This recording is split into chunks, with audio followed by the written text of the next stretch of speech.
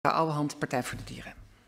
Ja, voorzitter, dank u wel. Ik wil me allereerst aansluiten bij het punt van de heer Klaver over dat ik denk dat het niet allebei waar kan zijn. Of je twijfelt niet aan de integriteit van een wetenschapper, maar dan kun je ook niet dingen zeggen als ja, ik vond het wel verdacht. Uh, dus hopelijk kan mevrouw Van der Plas dan nog even duidelijk maken welke van de twee uh, het dan is. Um, ja, mevrouw Van der Plas wil dat meteen doen. Ja, ja. mevrouw Van der Plas. Ja, kijk, ik denk dat ik duidelijk ben geweest in mijn, uh, in mijn woorden. Um, Kijk, uh, je mag niet twijfelen aan de wetenschap of aan wetenschappers. Um, ik vind dat je gewoon wel kritische vragen mag stellen over wetenschappers of over de wetenschap of over wetenschappelijk onderzoek. Dat, dat lijkt mij vrij normaal uh, dat je dat doet. Um, kijk, over. Ja, er wordt al gezegd dat ik zeg maar, een complotdenker ben. Zojuist heeft de heer Klaver hier een compleet complot over mij ontvouwen dat ik uh, de veehandel uh, of de veevoer zou uh, steunen. Dus het werkt dan ook beide kanten op. Dan zou ik eigenlijk willen oproepen om helemaal geen complotten meer. Althans, het woord complot, hè, of in ieder geval niet te suggereren dat er een complot is. Wat mij betreft is er geen complot. Wat mij betreft heb ik gewoon serieus kritische vragen die ik gewoon mag stellen hier. En waarop ik dan antwoord krijg. En als ik dat antwoord krijg, dan kan ik weer wat met dat antwoord. En kan ik weer verder denken. Zo werkt dat in een debat. Um, maar ja, kijk, hier ook suggereren dat ik hier voor de vleesindustrie sta. Ja, dat denk ik van wie is nou hier de complotdenker? Mevrouw Alwand.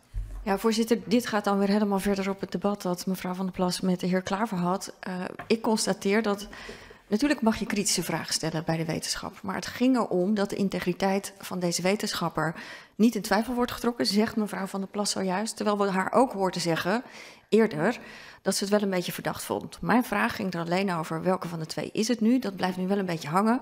Nee. Uh, maar ik wil daarmee uh, dit punt afsluiten, tenzij mevrouw Van der Plas daar nog op wil reageren, want ik wil aan mijn eigenlijke ja. interruptie beginnen. Ja. Dit was het punt van orde nog. Ja, ja goed, het we... roept natuurlijk wel dan een. Uh, ja. um, ik, misschien is dat uh, verkeerd begrepen, uh, of ik heb het verkeerd gezegd, dat kan, kan allemaal. Um, ik heb niet getwijfeld aan de integriteit van de heer Hordijk. Zeker niet. Ik denk dat zij gewoon een uitnodiging heeft gehad van Nieuwsuur en dat hij daar naartoe is gegaan. Um, mijn twijfel zit erin, waarom is hij door Nieuwsuur op dat moment uitgenodigd? Wat zou daar achter kunnen zitten, laat ik het dan maar zo zeggen, wat zou daar achter kunnen zitten? Zou daar misschien invloed kunnen zijn geweest vanuit een ministerie? Van joh, nou, um, er wordt hier gelachen, nou sorry, er wordt hier gelachen, maar in het verleden is wel gebleken hoor, dat er invloed is uh, op, uh, op nieuwsuitzendingen of op uh, um, hoe heet het, documentaires bijvoorbeeld. Dus laten we nou niet hier doen alsof we allemaal ja. gek zijn. Dat gebeurt wel eens. En voorzitter, ja, dan gaat die discussie weer we... deze kant op. Ja. U heeft het ik blijf mij... erbij. Ja. Ik mag daar gewoon vragen over stellen. En er kan antwoord op komen van de ministers. Zo werkt dat. Als daar niks achter zit, dan hoor ik dat graag. En daar wil ik het bij houden. Ja, u heeft dat voldoende het uitgewisseld is, met uh, ja, de heer Klaver en mevrouw Ouwehand ja. vroeger ook naar. Misschien kunt u nu starten met uw vraag, mevrouw uh, Nou ja, voorzitter, dan wil ik Gaat dit gang. punt van orde toch nog wel afsluiten met ja. dat het er niet beter op wordt als je van de wetenschapper dan uh, onafhankelijke journalisten uh, uh, hun integriteit in twijfel gaat trekken. Want dat is wat mevrouw van der Plas vervolgens deed. Ja, misschien heeft Nieuwsuur geen onafhankelijke redactie gevoerd, maar hebben ze zich laten beïnvloeden door het ministerie. Dat wordt er natuurlijk niet beter op. Dus mijn punt van orde is, doe het Doe dit niet. Doe dit ja. niet. Mevrouw van der Plas. Nou, sorry. Laten we nou echt niet roomser dan de paus zijn.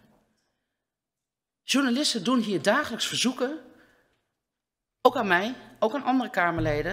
Hé hey joh, als je nog wat hebt, laat het ons weten. Als je nog hè, bij op één, bij Bo, bij Jinek, bij Jong met de Tan, bij, als je nog wat hebt, laat ons weten. Want misschien kun je dan wel in de uitzending. Dat is gewoon, er is ook helemaal niks ergs aan, want zo gaat dat. Toen ik journalist was, zei ik ook tegen mensen: joh, als je nog nieuws hebt, hè, of als je wat leuks hebt, of wil je een keer hier of daar wat over zeggen, bel me. Dat is helemaal, er wordt er hier gedaan alsof het, dat het een soort van schandalig iets is. Nou, het kan toch zijn dat er vanuit het ministerie, of wie dan ook, is gezegd van, joh, redactie Nieuwsuur, ik zou het wel fijn vinden als de heer Hoordijk bij jullie mag komen om dat even gaan te gaan toelichten. Dat is een volstrekt normale gang van zaken. Maar ik mag het me toch afvragen, is dat gebeurd Omdat ik hier die vragen heb gesteld. Dat is mijn enige vraag. En helemaal een of ander groot ding van gaan maken. Dat ik de integriteit van wetenschappers in twijfel trek. En dat ik anti-onafhankelijke journalisten ben. Het is gewoon echt, weet je. Ik begin gewoon om te lachen. Het is echt de grootste kolder die er bestaat. Mevrouw Ouwehand. Ja, nee, voorzitter. En zullen we dan daarna weer terug gaan naar het stikstofbeleid? Ik zou dat, ik zou dat wel heel graag willen, uh, maar dit is belangrijk. En het is heel subtiel, maar er is echt een verschil tussen journalisten die hier vragen: heb je nog nieuws? Uh, en volledig hun onafhankelijkheid dan uh, bewaren in wat kies ik uiteindelijk om te doen. Of hier suggereren dat Nieuwsuur de onafhankelijkheid heeft, niet heeft betracht, omdat het ministerie zou hebben geplucht. Nou ja, het is wel handig als die Hoordijk in jullie uitzending zit, want dat komt ons goed uit. En dat is de suggestie die mevrouw Van der Plas hier wel wekt. Ja. En, en dat is kwalijk, daar maken we een punt van. Dat ondermijnt het vertrouwen in onafhankelijke journalistiek, onafhankelijke wetenschap. Kritische vragen stellen mag altijd, maar dit soort suggesties wekken, dat is schadelijk. En mijn oproep aan mevrouw Van der Plas is: doe dat niet, hoe subtiel ook. Mevrouw van der Ik ga daar één zin aan wijden. Dat is niet mijn suggestie, dat is uw conclusie. En daar laat ik het bij. Mevrouw Alwand, gaat u verder. Gaat u verder met Ja, ik kijk even naar de collega's of ze ja. wilden aansluiten nog. Dat hoeft niet per se, maar omdat de heer Van nee, Haga net terecht u bent, zei... U bent nu aan het woord en het is voldoende uitgediscussieerd. Nee, als dit punt van orde nog niet af is, dan moet dat af worden gemaakt. Daarom keek ik even rond. Dat is een beetje uitlokken, mevrouw. nee, de heer Klaver, maar, maar punt van orde? Ja, het, punt van orde, ik wil het, onderschrijven, ik wil het onderschrijven. En dat is dat we echt, echt voorzichtig moeten zijn in hoe we hier over journalisten praten en hoe we hier over wetenschappers praten omdat we zien dat de suggestie die wordt gewekt, alsof, dat niet, of, daar niet, of zij zo beïnvloedbaar zijn door een ministerie, dat ze niet onafhankelijk zijn, dat ze dingen doen in opdracht van de politiek. Dat zorgt voor een klimaat in Nederland waarin journalisten niet meer met logo's op hun busjes en op hun microfoons uh, naar protesten kunnen gaan. Dat is gevaarlijk en ik vind dat wij als Kamer daar een grens moeten trekken. En daarom loop ik naar voren om het punt van mevrouw Ouwehand te volledig te onderschrijven. punt van orde. Kijk even naar de heer De Groot, ook ondersteuning van het punt van orde. Dat is het geval. Ja. Ik geef tot slot nog het woord aan mevrouw Van der Plas en dan... Zal ik er inderdaad nog wat over zeggen? Ja, u hoort mij zuchten. Dat is allemaal zo'n onzin. Maar goed, ik zal er wat over zeggen. Um, ik trek de integriteit van de journalistiek niet in twijfel. Ik trek de uh, integriteit van wetenschappers niet in twijfel. Nogmaals, ik stel er wel kritische vragen over. Dat mag. Dat mag ik doen. Journalisten mogen dat ook gewoon doen naar mij. Andersom mag dat ook. Dat uh, vind ik een hele gezonde situatie. Um, maar tot slot wordt van een Kamerlid de suggestie gewekt dat die niet onafhankelijk zou zijn. Er wordt voor mij gesuggereerd dat ik op de een of andere manier aan een touwtje hang van de vleesindustrie, van de veevoerderhandel, van de transporteurs. Dat wordt hier nu letterlijk in deze Kamer. Daarvan word ik gewoon eigenlijk nu min of meer beschuldigd. Dat ik als Kamerlid, als parlementariër, en als we dan toch suggestief gaan doen, zo vat ik het op, zoals misschien niet bedoeld, maar dat ik eigenlijk een soort van corrupt zou zijn. En dat vind ik heel, heel ernstig. U kunt daar nu ook afstand van nemen door ik neem persoonlijk zeker afstand van te maken? Absoluut. Ik word daar op Twitter en sociale media ja. ook al van beschuldigd. En dat komt uit een bepaalde hoek. Ik krijg het steeds voor mijn voeten. En ik ga nu ook echt overwegen dat een ieder die mij daar op wat voor manier dan ook nog van beschuldigt, het zal niet in de Kamer zijn, want hier ben je uh, immuun. Uh, maar iedereen buiten de Kamer die mij daar nog een keer van beschuldigt, op wat voor manier dan ook, die ga ik eisen dat hij één met bewijzen komt, met documenten komt dat dat zo is. En als dat niet zo is, dan stap ik naar de rechter en dan ga ik een rechtszaak aanspannen tegen iedereen die dat nog één keer zegt. Dank u wel, mevrouw. Want waar wordt de integriteit, wie zijn integriteit wordt in twijfel getrokken? Hier, in deze Kamer, mijn integriteit. Dank u wel, mevrouw Van der Plas. Ik neem daar zeer grote afstand van. Ja. Ik word niet gauw boos, maar ik ben het nu wel. Ik vind het heel ernstig wat hier gebeurt. Dank u wel. Dan gaan we nu naar mevrouw Ouwehand en terug naar het stikstofbeleid. Ja, naar de rechter stappen kan gelukkig altijd in ons land. En laten we dat uh, vooral zo houden. Mijn vraag aan mevrouw uh, Van der Plas uh, zou het volgende zijn. Ik ben het volstrekt met haar eens dat het voor boeren heel ingrijpend is. Voor geen enkele andere beroepsgroep die zo verweven is met wat ze doen voor hun werk en de plek waar ze wonen, waar ze vaak generaties lang al uh, wonen, verbonden met de grond. Natuurlijk is dat ontzettend ingrijpend.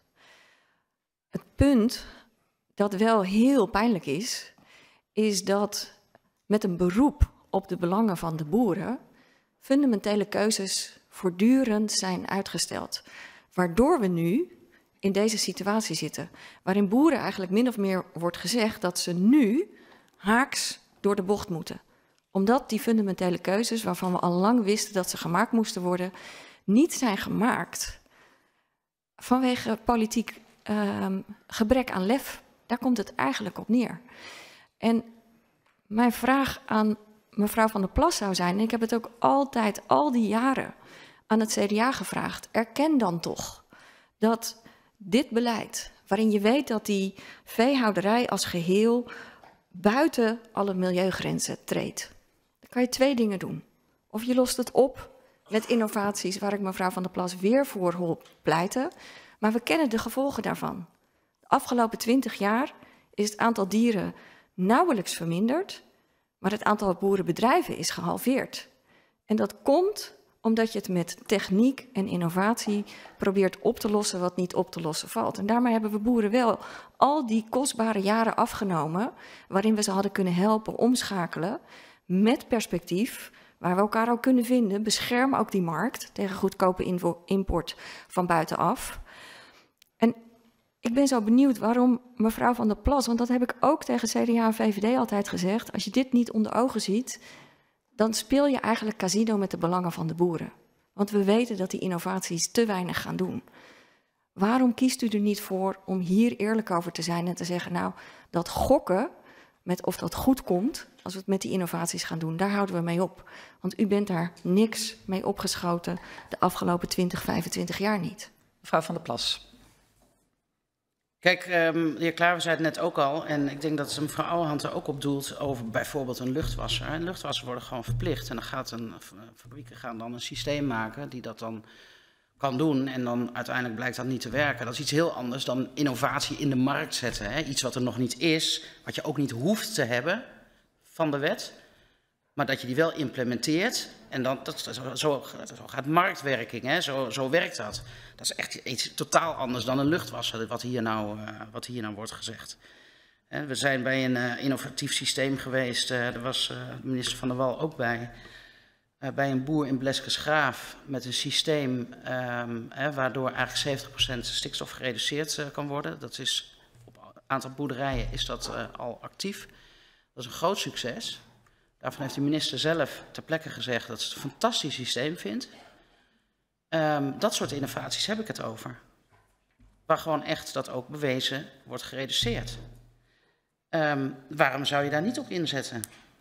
Ik vind het zo gek dat in Nederland dan bij alle bedrijven wordt gezegd: oh, innovaties zijn mooi.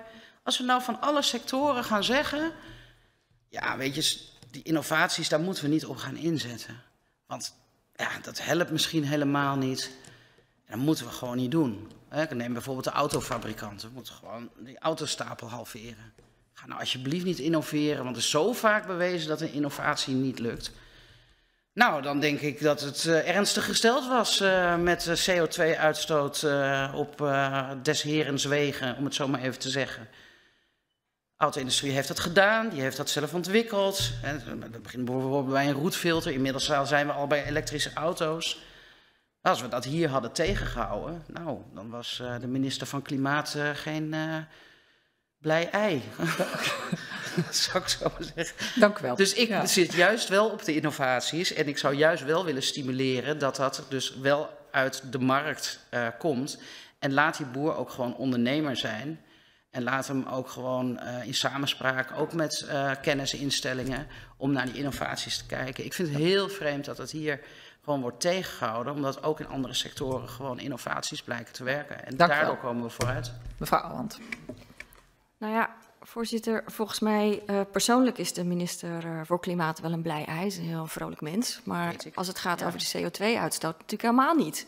Bedoel, Nee. eh, ook in andere sectoren, daar heeft mevrouw Van der Plas gelijk in, eh, wordt er volop ingezet op niks fundamenteels aanpassen, niet het systeem veranderen, geen fundamentele keuzes maken, maar we lossen het wel op met innovaties. Ik herinner me een uitzending van, uitzending van VPRO Tegenlicht, waarin eh, groot gewag werd gemaakt van een duurzame wasdroger. Toen dacht ik, ja, je bedoelt een wasrek? Ik bedoel, houd toch op. Hou op daarmee.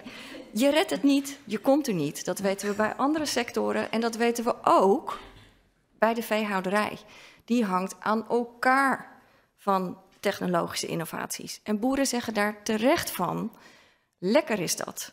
Mij is verteld dat het genoeg zou zijn als ik zou investeren in, ik noem maar wat, een emissiearme stalvloer. Ik doe dat.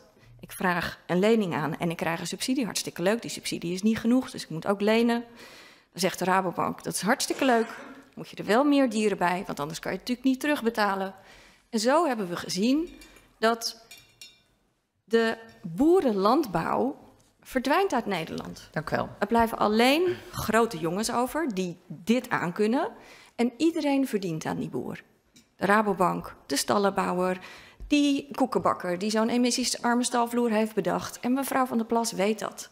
Dus die fundamentele keuze die veel te lang is uitgesteld, heeft ertoe geleid dat we al de helft van de boeren zijn kwijtgeraakt. En ik wil mevrouw van der Plas oproepen om niet in te zetten op nog meer onzekerheid. Want dat is wat je met nog weer vragen om innovaties doet. En dat is wat je ook doet. Een ander punt dat mevrouw van der Plas maakte. Dank u wel. Alles is een moet, politieke eh, keuze. Een beetje... Ja, wordt ik eh, begrijp ja. dat dit lang... Dit wordt mijn laatste vraag aan mevrouw van der Plas. Ja, maar mevrouw Van der Plas moet ook nog kunnen volgen. Ja, Maar daar heb ik alle vertrouwen in. Nou, dat gaat helemaal goed. Het andere punt dat daarbij komt, innovaties, dat is een onzeker perspectief voor de, voor, voor de boeren. Zeker gezien de resultaten uit het verleden.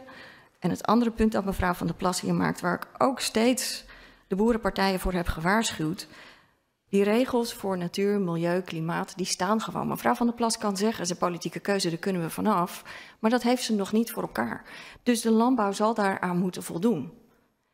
dank Als je doet alsof je die regels kunt uitgummen, dan speel je hoog spel met de belangen van de boeren. Mevrouw dat is van het punt Plas. dat ik wil maken. Ja, mevrouw Van der Plas. Oké, het is een punt, het is geen concrete vraag. Ehm, toch ook wel over een paar kleine dingetjes eh, reageren.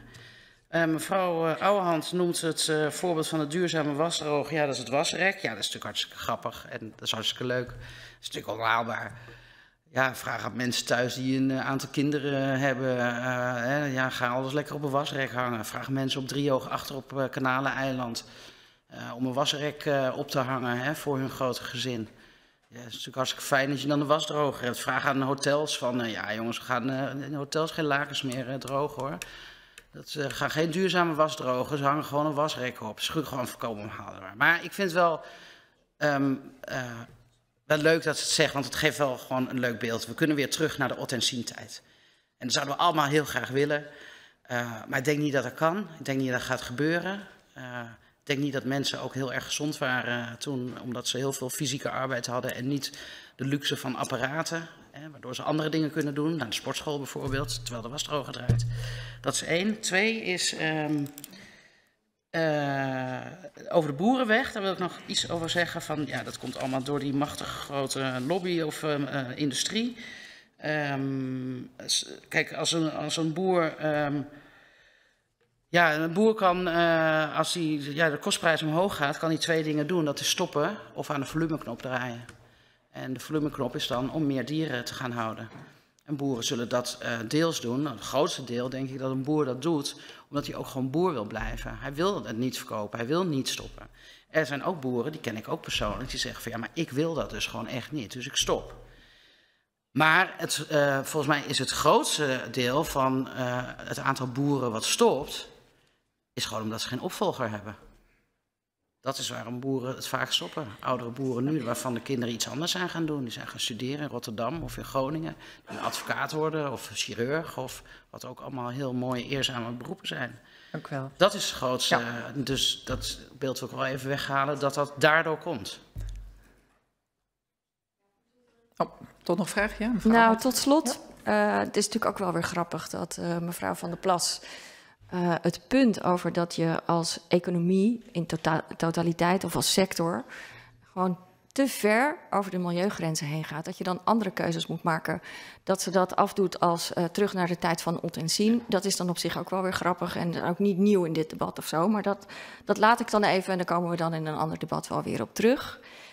Um, ik hoor mevrouw Van der Plas eigenlijk wel wegbewegen van die hele fundamentele vraag over het perspectief en de keuzes waar boeren nou recht op hebben. Is dat eerlijkheid of is dat toch weer proberen om het met uh, innovaties, waar we de resultaten van kennen uit het verleden, om zo de problemen proberen op te lossen? Het is niet eerlijk. Mevrouw van der Plas gaat niet in op het punt van uh, dat zij uh, tegen de boeren eigenlijk suggereert dat al die regels die we met elkaar eindelijk een keer moeten naleven voor klimaat, voor waterkwaliteit, voor natuur, dat je daar een andere politieke keuze in zou kunnen maken. Het is heel risicovol. En ik denk dat de boeren recht hebben op meer eerlijkheid en meer duidelijkheid. En het is juist van de partij van mevrouw Van der Plas dat ik dat op dit moment in het landbouwdebat eigenlijk wel verwacht. Ja, kijk, de, de vergelijking met terug naar de Ot- en Sien-tijd, dat ging over de wasdroger, dat ging niet over de milieuregels voor boeren. Dat wordt uh, weer even een handig haakje aan elkaar gekoppeld, maar dat is natuurlijk niet zo. Uh, kijk de beelden terug, zou ik zeggen. Um, en dat we aan milieuregels, dat die regels er zijn en dat we daaraan moeten voldoen. Ik weet niet, heb ik ooit gezegd dat we daar niet aan moeten voldoen? Heb ik ooit, heb ik ooit gezegd dat de boeren dan uh, die regels aan hun laars moeten lappen? Volgens mij heb ik dat niet gezegd. Heeft ja, u maar zelf al wat u uh, zelf vindt? Yes. Anders dan wordt het... Ja, nee, oh, dat, zeker. Dat is een hele goede tip, uh, voorzitter. Um, nee, dat vind ik niet. Je moet aan regels uh, voldoen. Je kan het niet eens zijn met, een, uh, met stoplichten. Maar ja, als die brood staat, zul je toch moeten stoppen. En als je niet stopt dan krijg je, en je wordt gepakt, dan krijg je een boete. En zo werkt dat hier in onze mooie Nederland. Um, dus dat zeg ik niet. En dan even tot slot over ja, dat eerlijkheid en dat beleid. En hè, dat ik ja, boeren een soort van naar de mond praat of zo. Of nou dat ik uh, ze niet, uh, geen eerlijke dingen beloof. Ik ben hier eigenlijk constant bezig om te proberen om een eerlijk beleid te krijgen. En het, um, een klein voorbeeldje is bijvoorbeeld de discussie over de gewasbeschermingsmiddelen. Waarin hier in de Kamer een aantal partijen de richting op wil dat Nederland eigenlijk strengere regels krijgt uh, dan het EU-beleid. Um, en dat gaat ook heel veel ellende kosten, in de akkerbouw bijvoorbeeld. Als wij bijvoorbeeld geen goede alternatieven hebben voor bepaalde middelen, dan, ja, dan moet je die middelen niet afschaffen. En mevrouw Ouwehand weet ook dat ook in die sector eigenlijk al heel hard gewerkt wordt om zeg maar, ook met biologische alternatieven te werken. En sommige alternatieven werken en sommige alternatieven werken niet. Dat is ook innovatie, hè? Dat weten ze. Sommige werken, sommige werken niet. Daarvan vindt mevrouw Ouwehand dat we dat vooral moeten doen. Die innovatie moeten we vooral doen, ook al werkt het soms niet. Nee, maar je moet het wel proberen. Dat is een heel goed punt. Dat vind ik namelijk op het andere, vind ik op het andere punt, vind ik dat namelijk hetzelfde. Um, dus daar ben ik wel bezig uh, met eerlijk beleid. Um, en ik denk dat uh, mevrouw Ouwehand en misschien ook uh, wat collega's twee dingen hier moeten onderscheiden. En dat is um, mijn strijd eigenlijk voor de gezinnen zelf en de mensen om wie het gaat. En de strijd voor een eerlijk beleid. En als Dank ik hier opkom voor boeren, dan kom ik op voor die families. Gewoon voor de mensen die daar zitten. Waarvan ik weet, die mij ook allemaal die vragen stellen. En die boer is niet gek hè, met die vragen. Die boeren zitten hier al decennia, eeuwen. Die weten dat, die stellen geen rare vragen. Snappen het gewoon niet. Dat probeer ik hier dan te verwoorden. Dank u wel, mevrouw Van der Plas. Ja. We gaan uh, in de tijd een beetje uh, wat langer praten, merk ik, met elkaar. Dus ik wil aan iedereen ja. vragen om wat compacter, kom misschien ook door de tijd en, en het gezien dat we een beetje richting de lunch gaan,